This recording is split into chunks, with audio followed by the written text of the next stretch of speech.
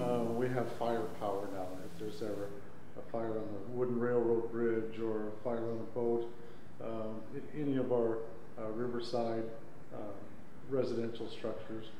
Um, and then the biggest thing is our industrial neighbors.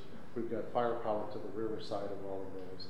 So for that itself, that's, that's one thing. Of course, the, the CBRN compliance uh, with the nuclear plant in our area is huge. And of course, having foam is an awesome deal. Uh, the infrared, all of the, the gadgetry that goes along with the boat is it's great.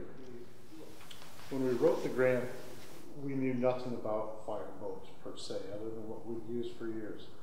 And uh, we, we really looked for somebody to help us with specs, and we just, uh, somebody contacted us and we wrote some specs.